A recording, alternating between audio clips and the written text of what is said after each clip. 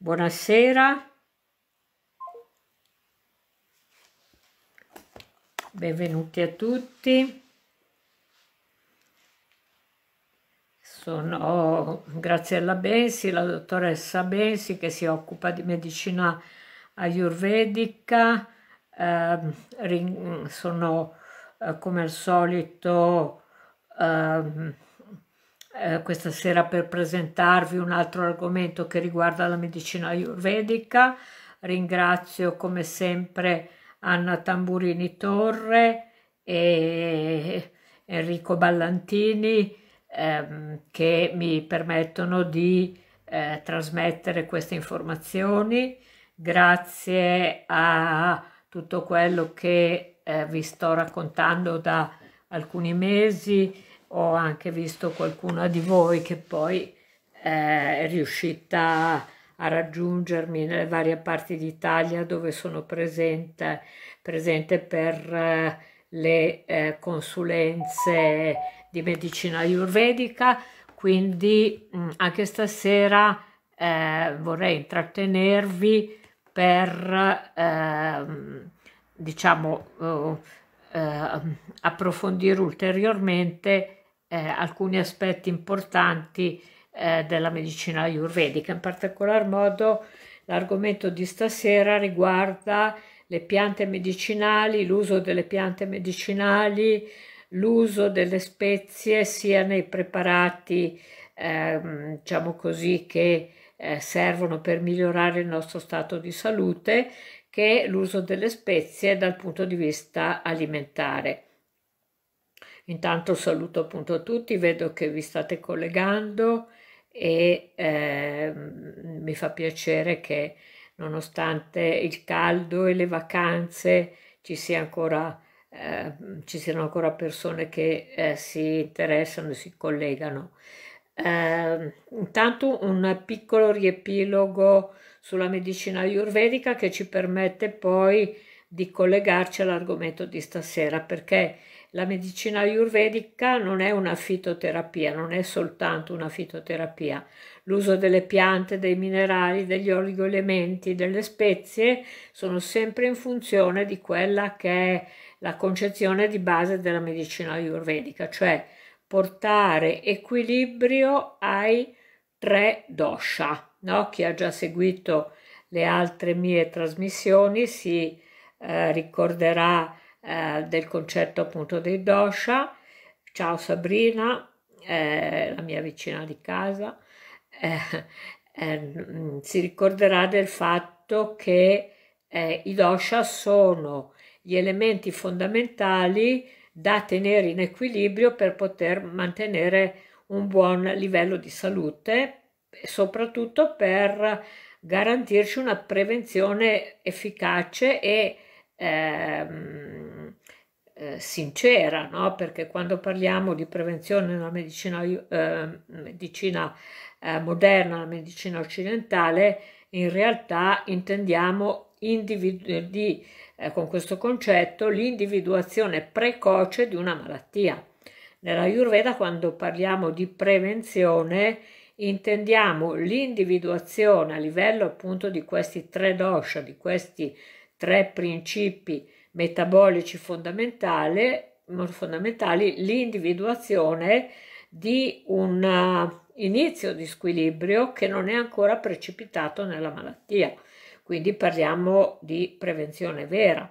Eh, quando questi tre principi, vi ricordo i nomi, Vata, Pitta e Kapha, ehm, Vata composto dai due elementi fondamentali spazio e aria, pitta composto dai due elementi fondamentali eh, fuoco e un pochino di acqua, Kafa composto dai due elementi fondamentali acqua e terra, ognuno di questi tre incaricato di eh, zone specifiche della nostra fisiologia, del mantenimento dell'equilibrio di zone specifiche della nostra fisiologia, in maniera particolare Vata eh, si occupa del nostro organismo dall'ombelico in giù, Pitta della parte centrale e Kapha della parte dal torace in su.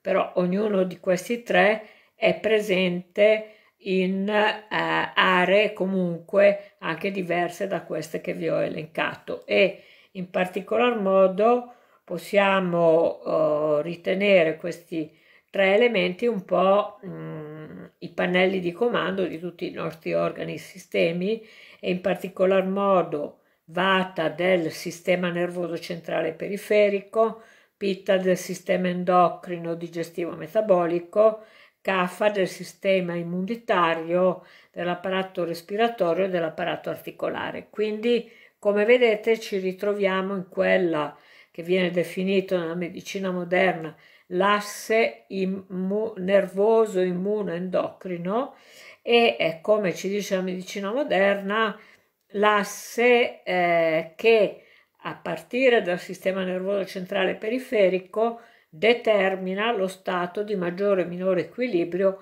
anche degli altri due, quindi della digestione, degli ormoni e del sistema immunitario. No? Asse neuroimmuno-endocrino come diciamo anche comunemente e eh, consideriamo anche così empiricamente ognuno di noi, se stiamo bene mentalmente, se siamo sereni, se non siamo troppo stressati, troppo agitati, troppo preoccupati, tutto il resto delle nostre funzioni organiche funziona, va a, diciamo a, a portare avanti il proprio lavoro in maniera egregia in maniera equilibrata. Quindi la Ayurveda, come abbiamo già detto in, altre, eh, in altri collegamenti, che cosa fa? Ci dà le tracce per poter mantenere questi tre sistemi nel eh, maggior grado di equilibrio possibile, perché quando si squilibriano a partire dallo squilibrio di Vata, che è quello più determinante, no? asse neuroimmuno-endocrino, quindi neuro viene per prima, vata sistema nervoso centrale periferico, vata sede principale il colon, quindi il secondo cervello. Quando vata si squilibria perché siamo troppo di corsa, siamo troppo agitati, siamo sempre troppo in allerta, cosa succede?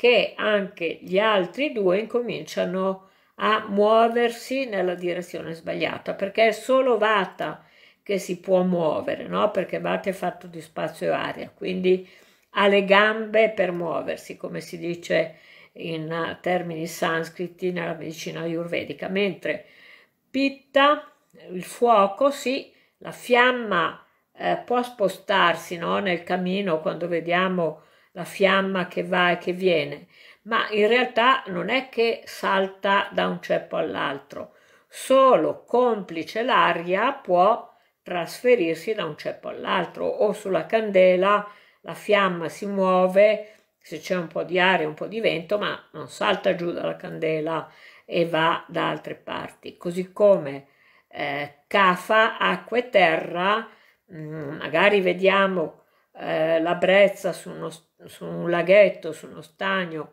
che eh, fa muovere le onde di questo stagno, ma eh, no, non, non esce dal suo bacino. Quindi Vata, quando aumenta, aumenta per prima cosa a livello del colon e incomincia a darci dei disturbi eh, che possono essere di, di lieve intensità inizialmente, ma poi aumentano e questo aumento che è secondo la Ayurveda il secondo stadio della malattia, quindi primo stadio aumento, secondo stadio aggravamento, terzo stadio spostamento, no? Prasara si dice in sanscrito, quindi eh, aumento, aggravamento, spostamento, quindi Vata dalla sua sede che è il colon, essendo leggero, cosa farà? Incomincerà a muoversi indietro, no? verso la colonna vertebrale, incomincerà a muoversi lateralmente verso il fegato, incomincerà a muoversi verso l'alto, verso lo stomaco e in questo movimento incomincerà a trasportare con sé eh, le qualità e le caratteristiche, in questo caso di pitta a livello dello stomaco e di pitta a livello del fegato, facendole aumentare a loro volta e, come si dice eh, in sanscrito, ehm, stana sanshraya, stadiando in quella zona più debole, quindi vata spostato nello stomaco incomincerà a dare tutta una serie di disturbi a livello dello stomaco, ma non è lo stomaco che ha cominciato a star male, è stato vata spostandosi dal colon a dare fastidio allo stomaco. Ecco per esempio i disturbi di gastrite, così come i disturbi famoso Helicobacter pylori, che muovendosi insieme a Vata dalla zona in cui è più, mm, che per lui è più congeniale, cioè l'intestino, si muove nello stomaco dando i problemi appunto di gastrite reflusso e eh, gastrite con anche la presenza dell'inversione eh, dall'intestino allo stomaco dell'Helicobacter pylori.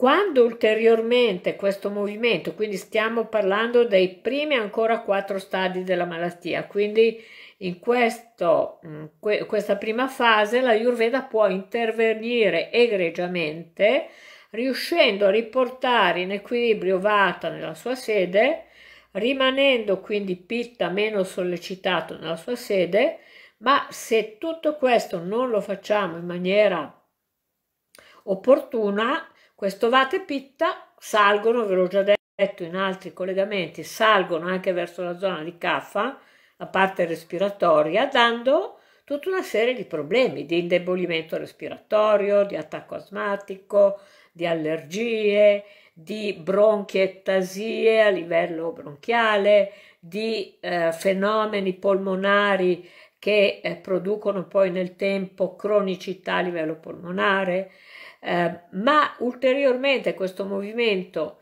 può salire verso la testa, no? Seni nasali, occhi che diventano secchi, asciutti, infiammati, ma la cosa più grave è il cervello che si infiamma.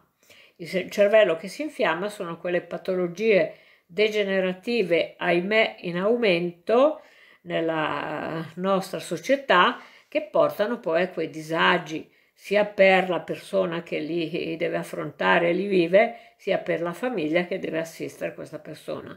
Parlo di demenza, Alzheimer, Parkinson e degenerazioni nervose, come anche i vari tipi di sclerosi.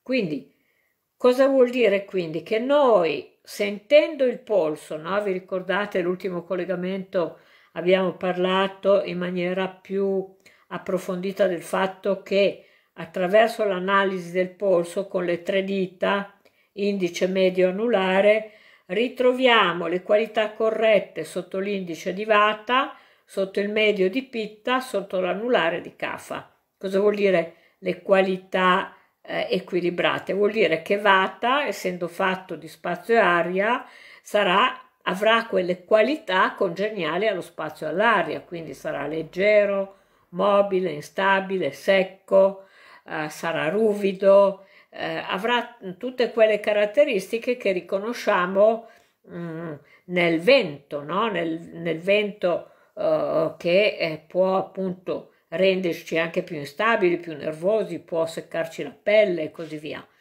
Uh, pitta avrà invece delle qualità più congeniali al fuoco, il fuoco scalda, il fuoco uh, rende la nostra pelle irritabile e delicata, il fuoco è un pochino untuoso, il fuoco è penetrante, quindi tutte queste qualità le troveremo sotto il dito medio che sente appunto le qualità di pitta, quindi vata sentiremo sotto l'indice, pitta sotto il medio, cafa sotto l'anulare, cafa è acqua e terra, cosa sentiremo?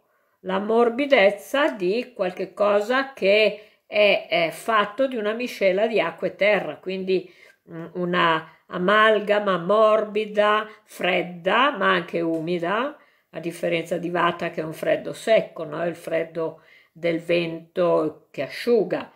Eh, troveremo delle qualità di maggiore stabilità, pesantezza, eh, anche troveremo delle qualità di maggiore morbidezza, quindi sono esattamente le qualità opposte di Vata. Quando queste qualità nel polso le troviamo alterate, eh, in maniera sapiente, chi studia, io sono 30 anni che studio la Ayurveda e eh, faccio, eh, utilizzo l'analisi del polso per aiutare le persone a risolvere andando a fondo nella origine delle loro problematiche proprio grazie al polso. Um, le persone appunto vengono poi indirizzate da, da me ad utilizzare determinate routine quotidiane di cui abbiamo già spesso parlato, ma anche determinate preparazioni a base di piante medicinali che non saranno semplicemente come i fitoterapici dei sostituti dei farmaci chimici per determinati sintomi, ma i preparati a base di piante medicinali ayurvediche, a base di minerali, a base di spezie, a base di oligoelementi, a base anche di eh, prodotti animali nel senso del burro chiarificato, il ghee, eh, questi preparati sono miscele sapienti di questi componenti che vanno a interagire, ad agire, a riequilibrare i tre dosha, vata, pitta e kapha. Quindi queste piante, questi minerali, questi oligoelementi, queste spezie vengono analizzate non come facciamo nella medicina moderna e nella botanica moderna in base ai loro uh, principi chimici, no? Possiamo anche farlo per carità, ma la uh, veridicità, la profondità, l'accuratezza e l'efficacia della medicina ayurvedica è collegata con l'analisi che questi antichi scienziati vedici, parliamo, vi ricordo, la medicina ayurvedica ha una datazione minima di 5.000 anni, ma ancora prima di questi 5.000 anni, quindi circa 3.000 anni prima di Cristo, la stesura di questi testi in maniera scritta, ma prima di allora il fatto che questa medicina venisse tramandata oralmente da questi saggi, da questi sapienti, da questi medici che ehm, facevano questo lavoro proprio ehm, nell'ambito della tradizione della propria famiglia, no? quindi ancora oggi in India i Vaidya, i medici ayurvedici, così è il nome del medico ayurvedico in sanscrito, eh, si eh, formano prima che laurearsi poi nei cinque anni di università, si formano fin da bambini nell'ambito delle famiglie di Vaidya dove sono nati, seguendo le istruzioni della nonna, del nonno, del papà, della mamma, della zia, a seconda di qual è il componente della famiglia che ha ricevuto a sua volta dai, eh, dalle generazioni precedenti queste informazioni. E infatti questa eh, disciplina, soprattutto per quello che riguarda l'analisi del polso, viene tramandata oralmente. Per quanto poi riguarda tutto eh, lo studio dei testi classici ayurvedici, Charaka Samhita, Sushruta Samhita, Vagabat Samhita, sono tanti, eh, diciamo, i, i sei classici più importanti sono quelli da cui derivano le, la maggior parte delle informazioni. Poi ci sono dei testi più recenti, elaborati anche in tempi relativamente più vicini a noi, periodo medievale della medicina ayurvedica, in cui si sono eh, diciamo accumulate altre informazioni. Però i sei testi classici ayurvedici contengono tutto quello di cui vi ho parlato in questi nostri appuntamenti e contengono anche l'analisi e eh, la, la, diciamo, l'utilizzo delle piante medicinali. Eh, ci sono due capitoli molto interessanti della medicina ayurvedica che essendo una medicina strutturata è suddivisa come la nostra medicina. ehm, medicina generale, chirurgia, chirurgia della zona sopraclavicolare, otorino-laringoiatria, ehm, psicologia e psichiatria, eh, pediatria e ginecologia, tossicologia e poi ci sono due branche molto importanti che riguardano le piante, eh, che riguardano due gruppi particolari di piante. Rasayana, una è la scienza dei Rasayana e l'altra la scienza dei Vajikarana. I Rasayana noi in termini moderni li chiameremmo i ringiovanenti, no? Bella questa, questo, questo concetto, che non è un concetto semplicemente estetico, solamente estetico eh, e frivolo, tra virgolette, ma ringiovanire gli organi del corpo è molto importante per affrontare meglio l'invecchiamento, no? Perché è chiaro che con l'andare eh, del tempo i nostri organi si usurano sempre di più.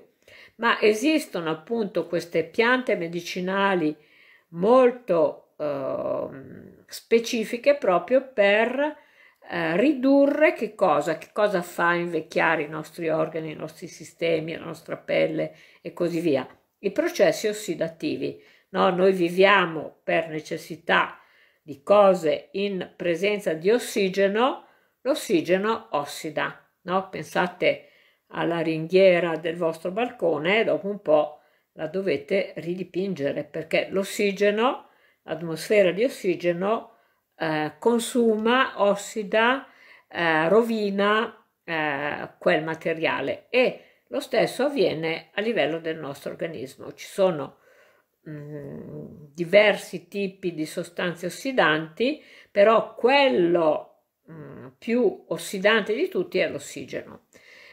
Quindi, siccome noi dobbiamo vivere per forza in un'atmosfera di ossigeno, dobbiamo, l'essere umano ha da sempre elaborato la conoscenza di quelli che appunto chiamiamo gli antiossidanti.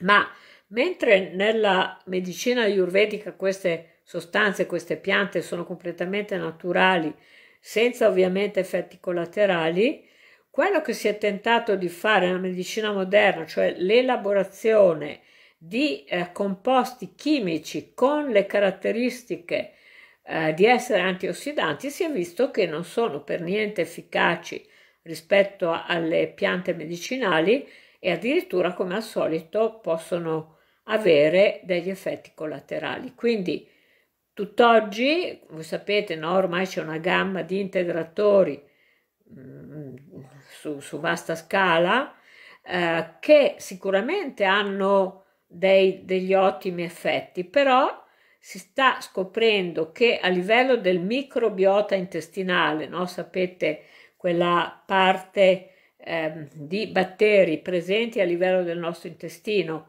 e come sapete sono molto più numerosi delle nostre cellule, quindi è un po' come se noi eh, portassimo a spasso dentro di noi dei personaggi che in qualche maniera eh, sono anche loro che orientano i nostri modi di essere, i nostri stati d'animo e si è visto che troppi integratori disturbano il microbiota intestinale cosa che non avviene con appunto queste sostanze, queste piante rasayana di cui eh, vi sto incominciando a parlare. Quindi grande capitolo della medicina ayurvedica è rasayana, quindi ringiovanenti, antiossidanti, eh, rigeneranti, tonici, no? in questo periodo di eh, Covid e long post-Covid questi prodotti hanno dato, mm, ve lo dico per, per esperienza, per averli consigliati a tantissime persone, hanno dato dei risultati incredibili. Adesso poi ve li nomiro, vi nominerò le piante, vi dirò anche, vi parlerò di qualcuno di questi prodotti, tutti i prodotti che trovate comodamente nelle farmacie, parafarmacie, erboristerie eh, ben fornite eh, in tutta Italia si trovano assolutamente. L'altra categoria, i Vajikarana, sono piante ehm, che hanno un'attività, mm, potremmo dire, sull'apparato riproduttivo. Sono quelli che possiamo definire afrodisiaci, ma afrodisiaco nel senso più ampio, completo e profondo del termine, cioè piante che migliorano che cosa? La cosa più importante che dobbiamo fare su questo pianeta, riprodurci, mantenere la nostra specie, perché se non ci riproduciamo ci esauriamo e scompariamo come i dinosauri. Quindi Vajikarana sono piante che migliorano la fertilità e come sapete di questi tempi questo discorso è di grande attualità perché purtroppo sta aumentando eh, in maniera veramente esponenziale la difficoltà ad avere figli sia da parte maschile che da parte eh, femminile. Quindi queste piante, questi minerali, questi oligoelementi, queste spezie vengono a, a darci una grande mano in questo periodo di eh, grande difficoltà. Spesso le piante rasayana sono anche vajikarana, poi ve le nomino e eh, le eh, commentiamo. Eh, però voglio fare un passo indietro, la Ayurveda, come vi sto insistendo da varie, eh, vari incontri che abbiamo fatto, non è una medicina sintomatica, quindi non è che dico, ah, non riesco a aver figli, mi hanno detto che mh, mm, anatomicamente, fisiologicamente va tutto bene, quindi non ci sono spiegazioni, eh, diciamo, mh, mm, che giustifichino il fatto che io non riesco ad aver figli, morale non riesco ad aver figli, allora prendo il preparato ayurvedico. No, non funziona così. Sarebbe eh, una contraddizione enorme rispetto a quello che vi ho spiegato in tutti gli incontri che abbiamo fatto. Quale potrà essere l'elemento, no? Ci arrivate sicuramente anche voi dopo tutto quello che abbiamo detto anche questa sera e quello che abbiamo detto negli incontri precedenti. Tra Vata, Pitta e Kapha quale sarà quello più destabilizzante la zona riproduttiva? No? Vi ricordo che Vata ha la sede principale nel colon, ma che il colon ha dei rapporti interpersonali eh, profondissimi con gli organi adiacenti, ovvero apparato riproduttivo sia maschile che femminile, vie urinarie sia maschili che ovviamente femminili.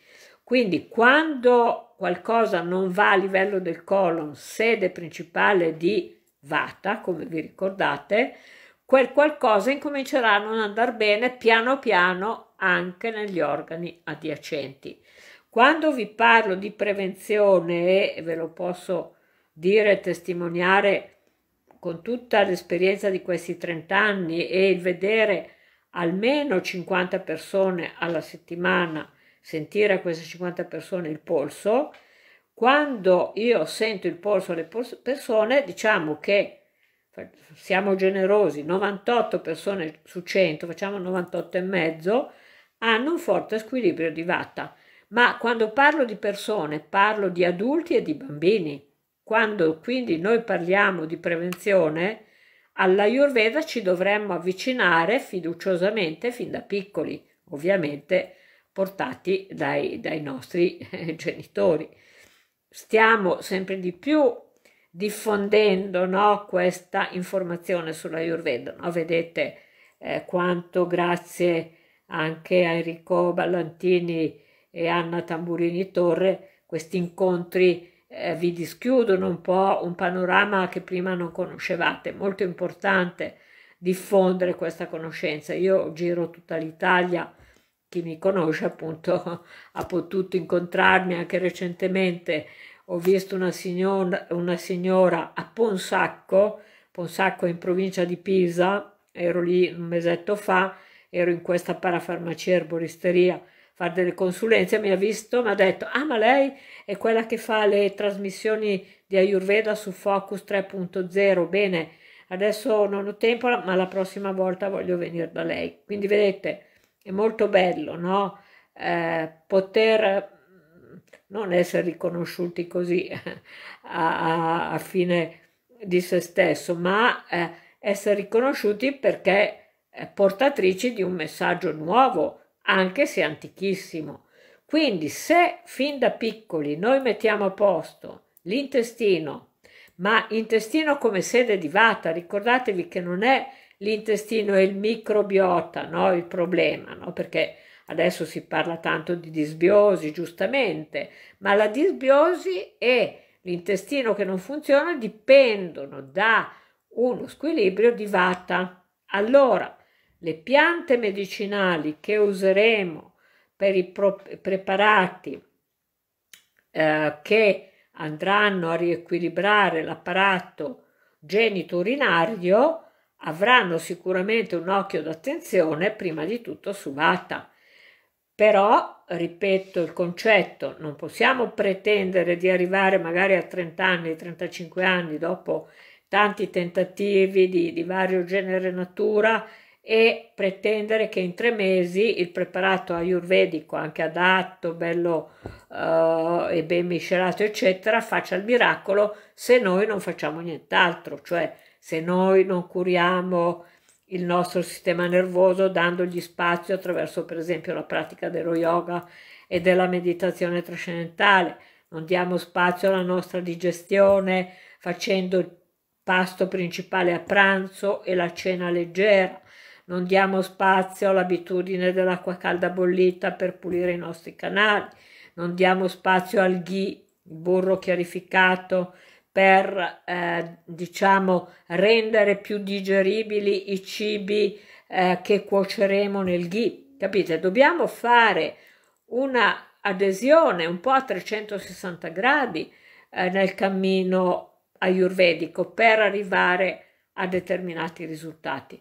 Comunque anche dal punto di vista eh, così mh, della eh, procreazione in questi anni ho avuto tante belle soddisfazioni, tanti bei risultati. E visto che stiamo parlando dei Vajikarana, poi torneremo a eh, i Rasayana, quindi gli antiossidanti, ri, rivitalizzanti, eccetera, piante Vajikarana e anche Rasayana, due piante che avrete magari sentito nominare perché adesso purtroppo vanno di, di moda questi preparati fitoterapici a base di quell'unica pianta.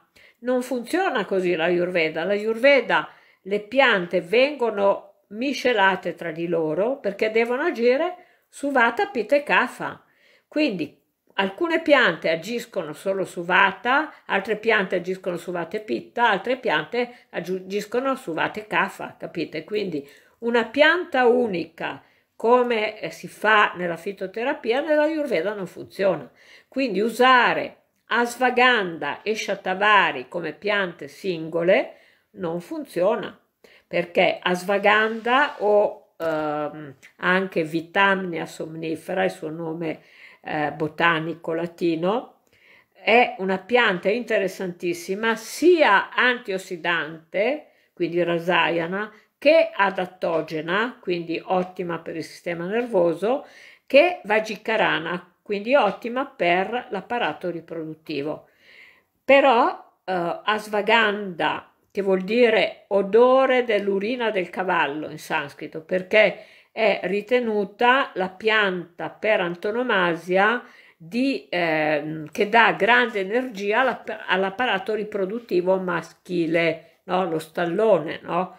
Eh, la, la, mm, così mm, l'immagine dello stallone ci rimanda alla potenza sessuale maschile. Shatavari invece che vuol dire cento mariti ehm, o anche cento radici perché è una pianta, è l'asparagus racemosus, quindi è un asparago, no? come il nostro asparago, ma po' più, sembra più un alberello, non è l'asparago piccolino come siamo abituati a conoscere noi. Quindi l'asparagus racemosus o shatavari, quindi 100 mariti, è l'afrodisiaco per eccellenza a livello femminile. Quindi sono due ottime piante che però eh, comunemente nei preparati ayurvedici vengono usati insieme in modo che siccome Asvaganda pacifica Vata e Kapha e quindi non pacifica Pitta, non pacificando Pitta, una persona che prende solo Asvaganda per lunghi periodi può ritrovarsi poi con un grado di infiammazione perché appunto non eh, pacificando Pitta, Pitta aumenterà.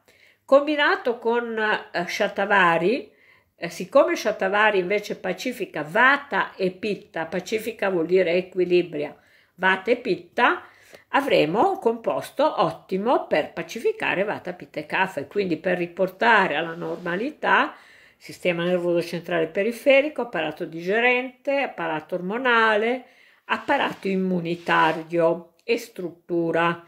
Quindi questa logica delle eh, preparati ayurvedici viene poi ancora eh, da più lontano, nel senso che voi direte, ma perché non possiamo usare le nostre piante medicinali europee? Certo, noi stiamo facendo anche degli studi comparati tra le piante tradizionali ayurvediche indiane che vengono dall'Himalaya, vengono dalle zone del Rajasthan, quindi non vengono dagli orti vicino alle superstrade di Delhi o, o di Calcutta, capite? Perché dobbiamo saperle queste cose. Parlo di quella che chiamiamo Ayurveda Marishi, che è stata definita la miglior Ayurveda ricavata da tutte le informazioni tradizionali grazie alle famiglie dei medici tradizionali ayurvedici. Quindi l'Ayurveda Marishi che troviamo farmacia, parafarmacia,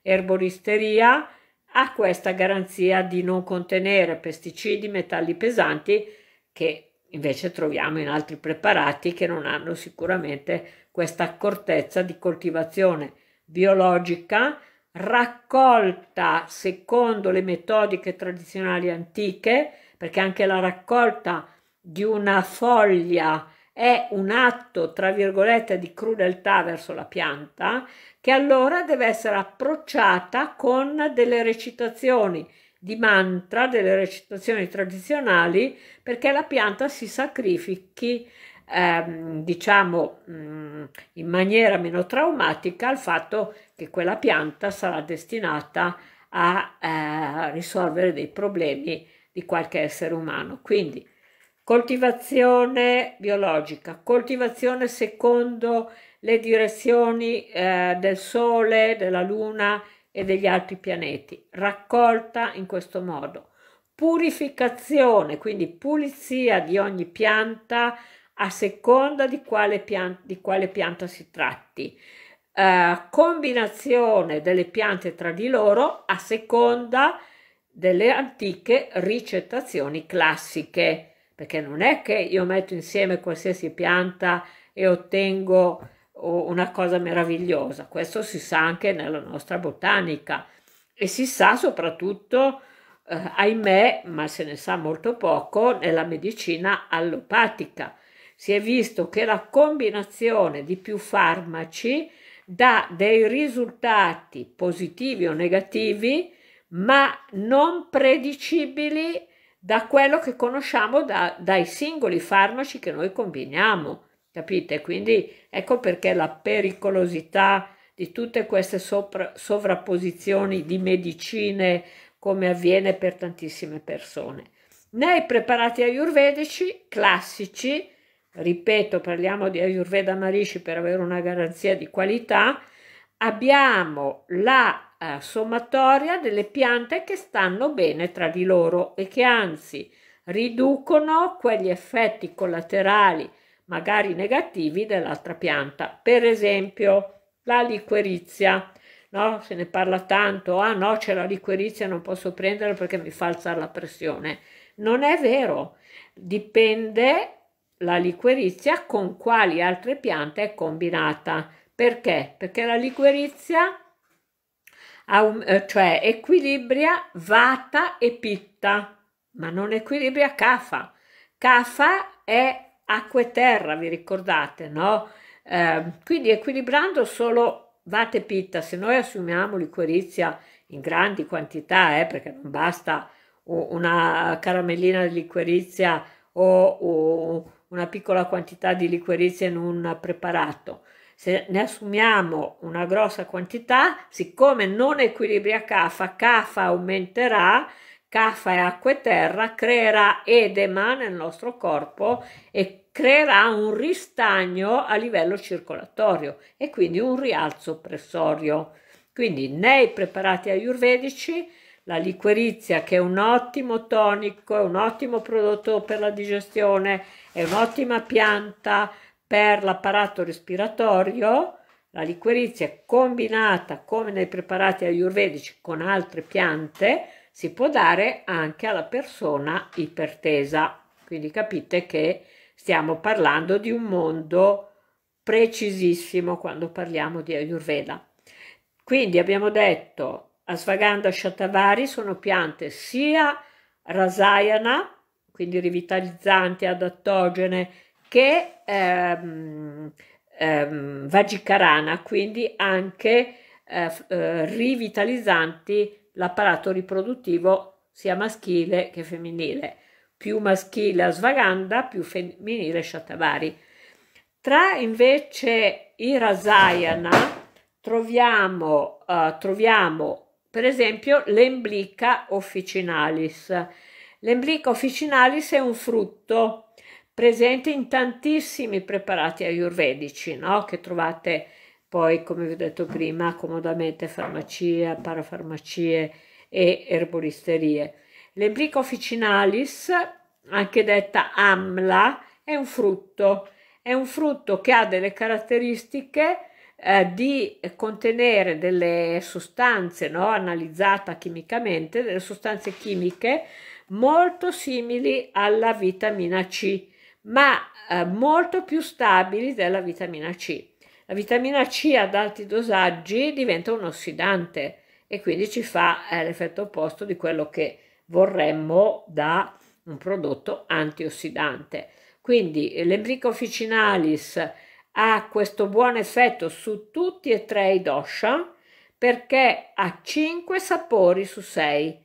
No? Nella analisi delle piante medicinali, come vi dicevo prima, nell'antichità né c'era la modalità per farlo, ma neanche interessava esaminare se c'erano bioflavonoidi, se c'erano uh, terpeni, se c'erano ehm, lattoni, se c'erano, ehm, se c'era più glucosio, capite?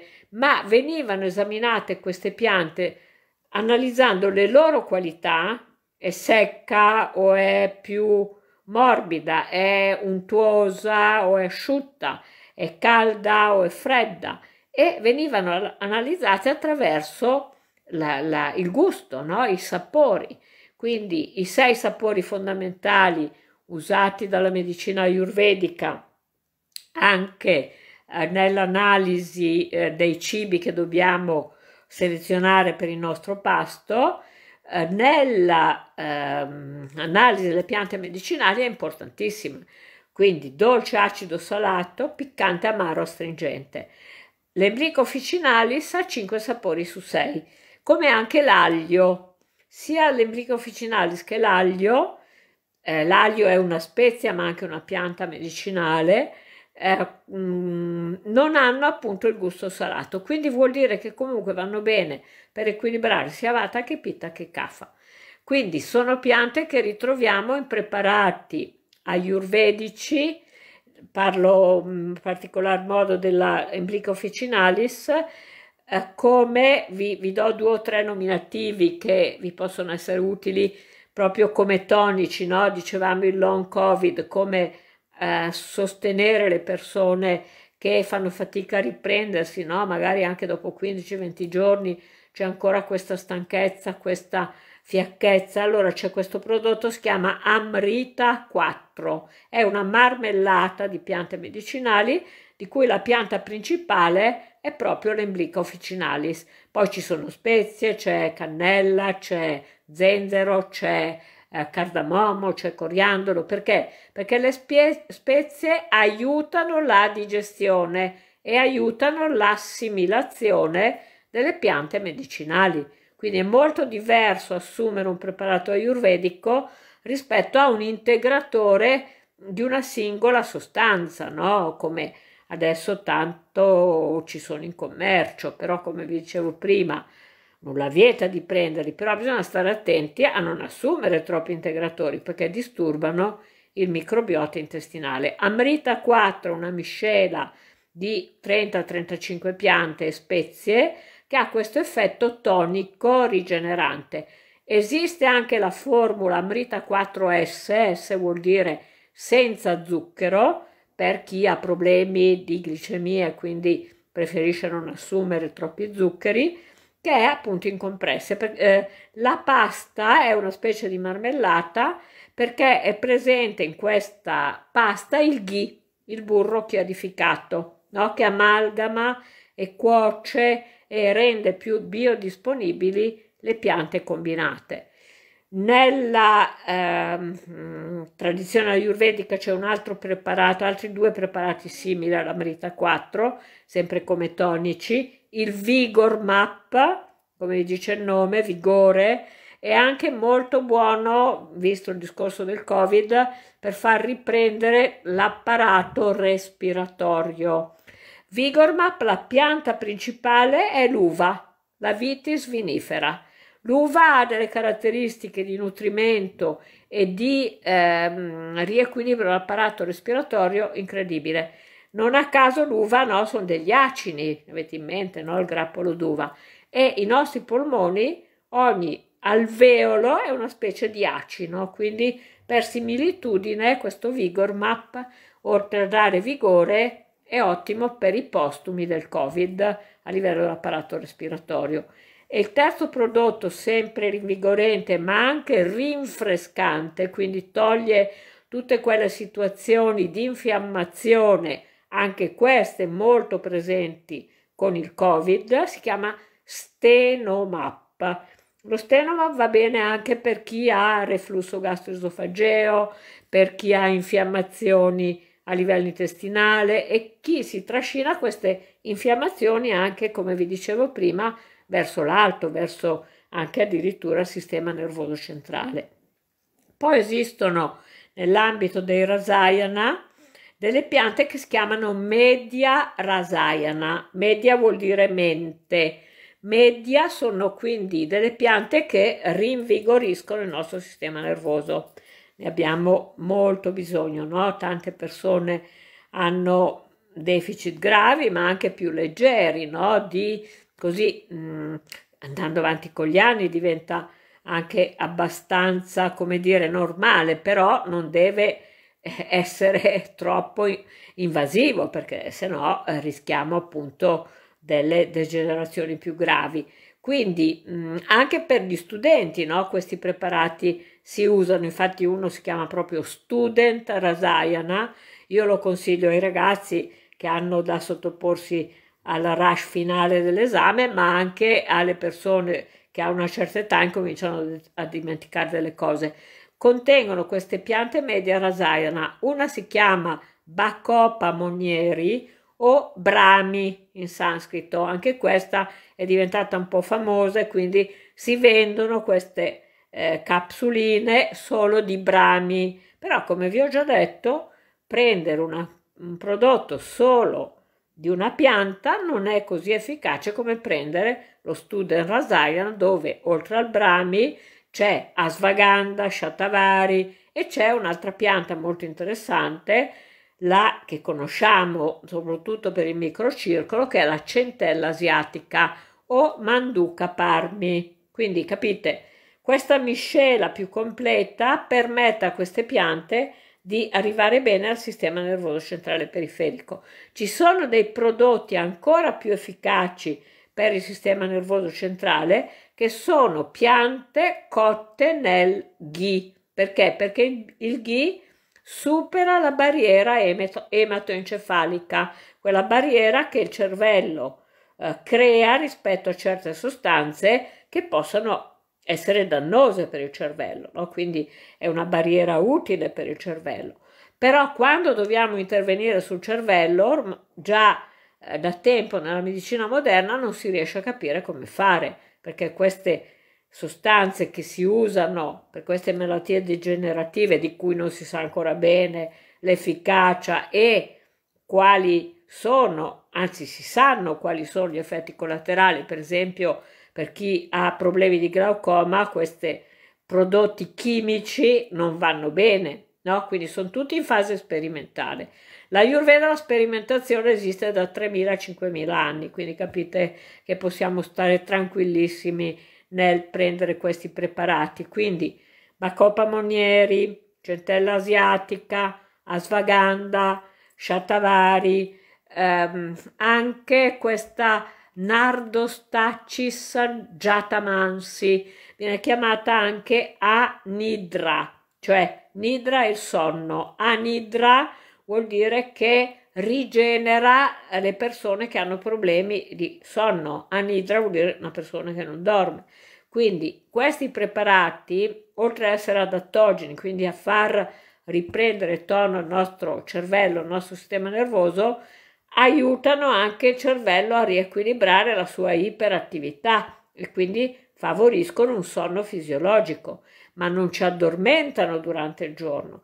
Viene usato in Ayurveda anche la valeriana officinalis e la valeriana vallicchi, però in percentuali più ridotte rispetto a queste piante di cui vi sto parlando, perché la valeriana officinalis e la valeriana vallicchi, che è una specie diversa rispetto alla officinalis, hanno diciamo un po' quella, un effetto un po' uh, di intontimento, no? Se prendiamo la valeriana la sera, magari il mattino dopo ci svegliamo un pochino intontiti, non con i preparati ayurvedici. Quindi Rasayana, Media Rajayana, Vajikarana.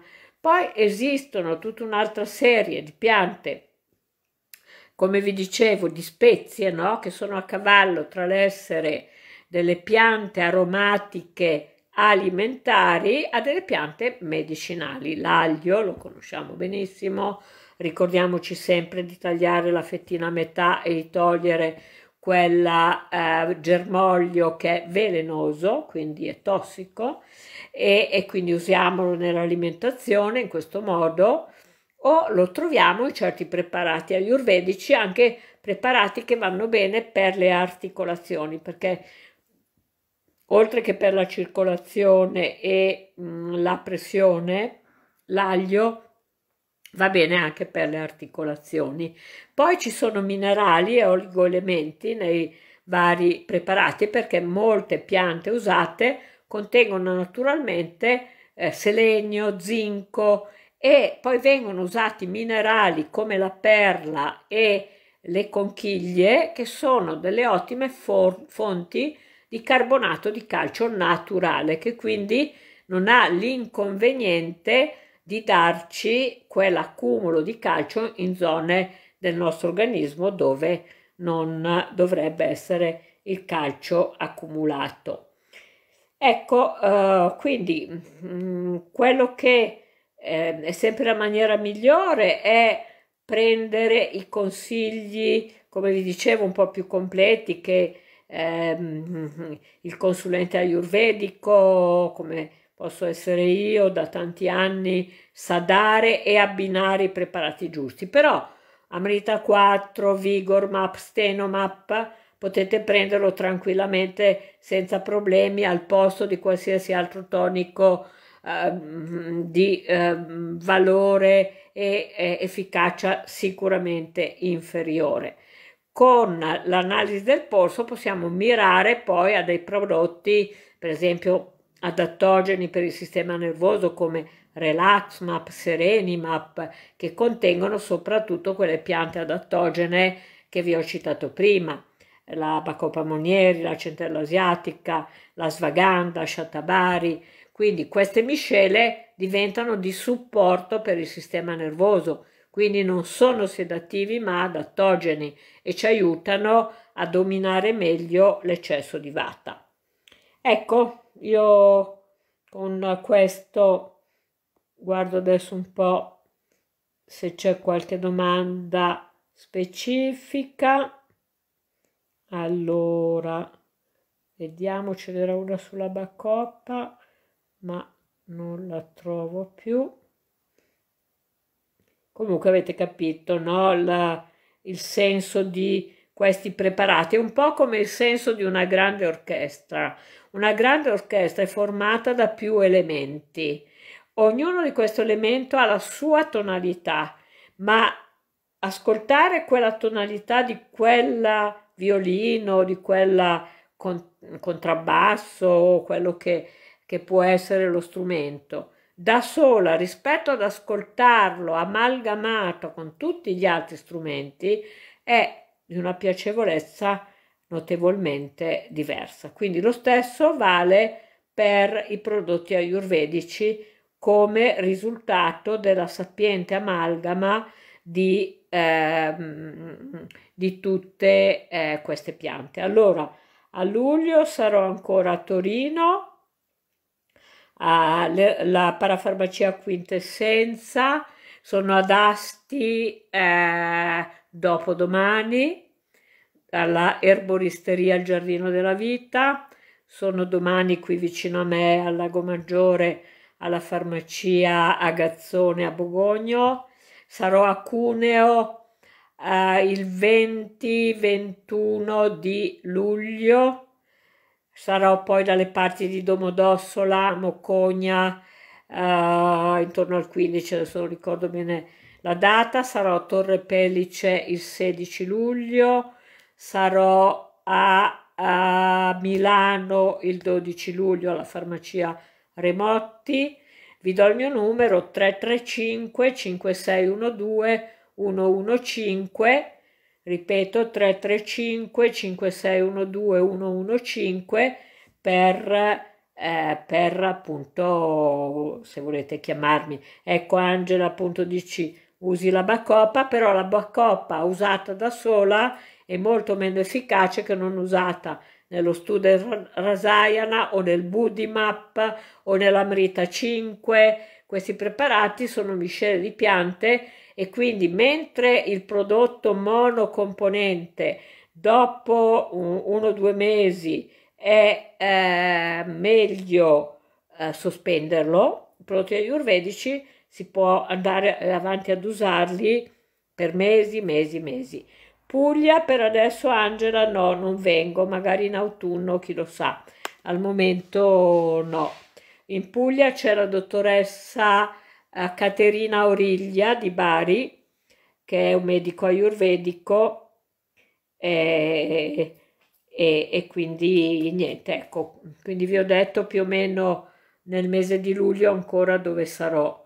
Uh, sto pensando, ah poi sarò in Liguria eh, dal 25, anzi già dal 23, sono 22-23, sono tra Nervi, Genova, ehm, poi sono a, alla farmacia Novella a Rapallo, eh, quindi insomma mi muovo anche in Liguria.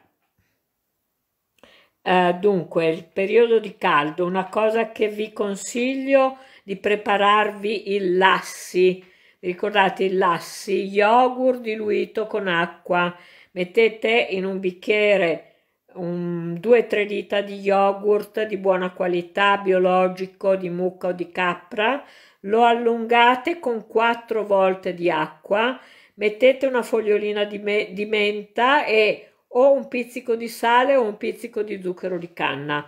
Non il miele perché il miele è astringente altrettanto quanto il lassi e bevete il lassi lungo la giornata.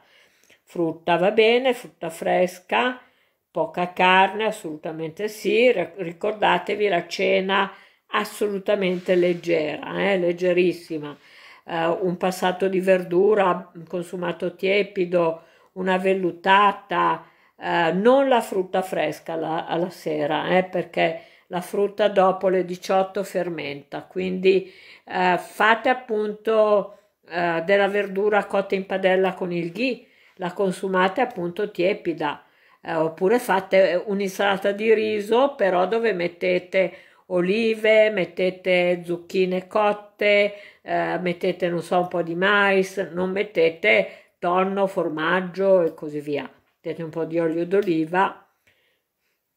Va bene, allora io ringrazio di nuovo tutti quelli che hanno partecipato, ringrazio Enrico Ballantini, Anna Tamburini Torre e eh, grazie, alla prossima, non ci vediamo ad agosto, ci vediamo poi a settembre.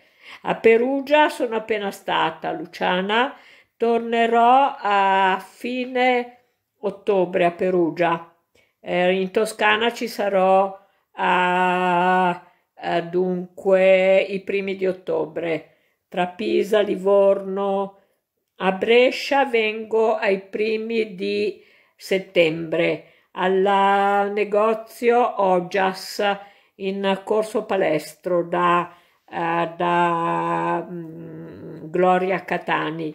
Potete prendere appuntamento da, da lei. Ojas è un bellissimo negozio di prodotti ayurvedici, prodotti per lo yoga, tutti so, i tappetini, le varie cose che servono per lo yoga. Bene, vi, vi saluto. Grazie a tutte e a tutti. Però a Perugia vengo ancora, Luciana, vado a Estetica Bios di Cinzia, Cinzia Zicchieri. Buone vacanze, ci vediamo a settembre. Buona serata.